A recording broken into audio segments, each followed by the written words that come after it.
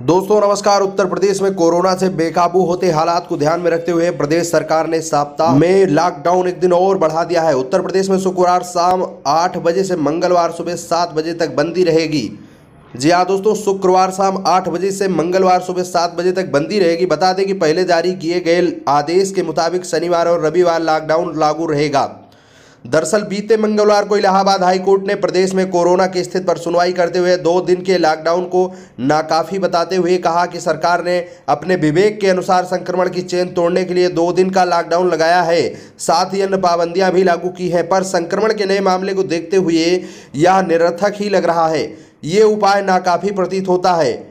Lockdown को मंगलवार सुबह तक बढ़ाने के पीछे हाईकोर्ट की इस टिप्पणी को भी एक वजह माना जा रहा है। इसके साथ ही प्रदेश सरकार ने मास्क न पहनने वालों पर कड़ी कार्रवाई के निर्देश दिए हैं। बिना मास्क के बाहर निकलने वालों पर पहली बार एक हज़ार जुर्माना तथा दूसरी हज़ार दस गुना तक जुर्माना देना पड़ सकता है।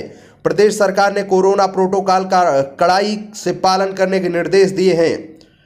और अब सप्ताह में तीन दिन शुक्रवार, शनिवार और रविवार लॉकडाउन रहेगा। अगर आपको हमारी ये जानकारी पसंद आई तो चैनल को सब्सक्राइब करके वीडियो को लाइक करना ना भूलें। धन्यवाद।